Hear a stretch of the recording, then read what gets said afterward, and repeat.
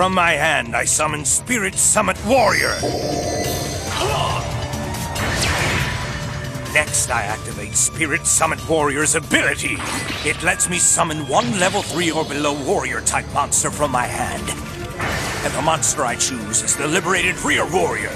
Now both these battle-hardened heroes will tune together and create a champion even more powerful. Behold the power of two warriors working as one.